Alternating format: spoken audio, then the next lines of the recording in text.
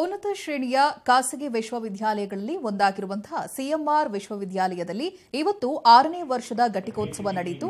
ಬೆಂಗಳೂರಿನ CMR IT ಕ್ಯಾಂಪಸ್ನಲ್ಲಿ ನಡೆದ ಘಟಿಕೋತ್ಸವ ಕಾರ್ಯಕ್ರಮದಲ್ಲಿ ರಾಜ್ಯಪಾಲರಾದ ತಾವರ್ಚಂದ್ ಗೆಹ್ಲೋಟ್, ಭಾರತೀಯ ವಿಜ್ಞಾನ ಸಂಸ್ಥೆಯ ನಿರ್ದೇಶಕ ಪ್ರೊಫೆಸರ್ ಗೋವಿಂದನ್ ರಂಗರಾಜನ್ ಹಾಗೆ ಸಂಸದರಾದ ಕೆಸಿ ರಾಮಮೂರ್ತಿ ಉಪಸ್ಥಿತರಿದ್ದರು. ಘಟಿಕೋತ್ಸವದಲ್ಲಿ ಸಾವಿರದ ನಾನೂರು ವಿದ್ಯಾರ್ಥಿಗಳಿಗೆ ಸಿಎಂಆರ್ ವಿವಿ ಕುಲಪತಿ ಡಾಕ್ಟರ್ ಸಬಿತಾ ರಾಮಮೂರ್ತಿ ಪದವಿ ಪ್ರದಾನವನ್ನು ಮಾಡಿದರು. ಚಿನ್ನದ ಪದಕಗಳ ವಿಜೇತರ ಪೈಕಿ ಹದಿನಾರು ವಿದ್ಯಾರ್ಥಿನಿಯರಿಗೆ ಹನ್ನೆರಡು ವಿದ್ಯಾರ್ಥಿಗಳಿಗೆ ಪ್ರದಾನ ಮಾಡಲಾಯಿತು ವರ್ಷದಿಂದ ವರ್ಷಕ್ಕೆ ಹುಡುಗಿಯರು ಎಲ್ಲಾ ವಿಭಾಗಗಳಲ್ಲಿ ಹುಡುಗರಿಗಿಂತ ಉತ್ತಮ ಪ್ರದರ್ಶನ ನೀಡ್ತಾ ಇದ್ದಾರೆ ಮತ್ತು ಹೆಚ್ಚು ಚಿನ್ನದ ಪದಕಗಳನ್ನು ಗಳಿಸಿದ್ದಾರೆ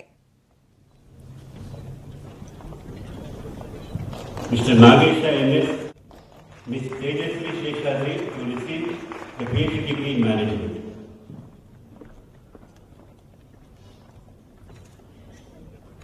Ms. Annie Stephen, Chidambara Gadapaya to receive the PhD degree in management. CMR ವಿಶ್ವವಿದ್ಯಾಲಯದ ಆರನೇ ಘಟಕೋತ್ಸವಕ್ಕೆ ಇಂದು ಸನ್ಮಾನ್ಯ ಘನತೆಯುತ ರಾಜ್ಯಪಾಲರು ಆಗಮಿಸಿ ರ್ಯಾಂಕ್ ವಿದ್ಯಾರ್ಥಿಗಳು ಹಾಗೂ ಪಿ ಎಚ್ ಡಿ ವಿದ್ಯಾರ್ಥಿಗಳಿಗೆ ಅವರ ಪ್ರಶಸ್ತಿಗಳನ್ನು, ಪದವಿಗಳನ್ನು ನೀಡಿರ್ತಾರೆ ಆರು ವರ್ಷಗಳು ಸಿಎಂ ವಿಶ್ವವಿದ್ಯಾಲಯ ಏನು ಕಳೆದಿದೆ ಪ್ರಾರಂಭದಿಂದ ಇದುವರೆಗೂ ಕೂಡ ಹಂತ ಹಂತವಾಗಿ ರಾಷ್ಟ್ರೀಯ, ಅಂತಾರಾಷ್ಟ್ರೀಯ ಮಟ್ಟಕ್ಕೆ ಅನೇಕ ಉತ್ತಮವಾಗಿರತಕ್ಕಂತಹ ಕಾರ್ಯಕ್ರಮಗಳ ಮೂಲಕ, ಅನೇಕ ಉತ್ತಮವಾಗಿರತಕ್ಕಂತಹ ಕೋರ್ಸ್ಗಳ ಮೂಲಕ ಜನಮಾನಸವನ್ನು ಮುಟ್ತಕ್ಕಂಥ ಕೆಲಸ ಮಾಡ್ತಾ ಇದೆ.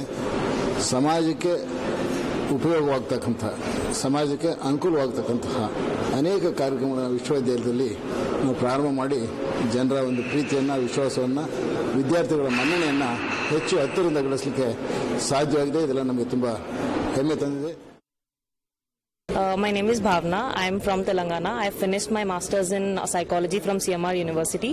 It has uh, been a great experience because each of our faculty members is an expert in their own areas. And to be receiving a gold medal today amongst such hon- honors and dignitaries has been a privilege and an honor.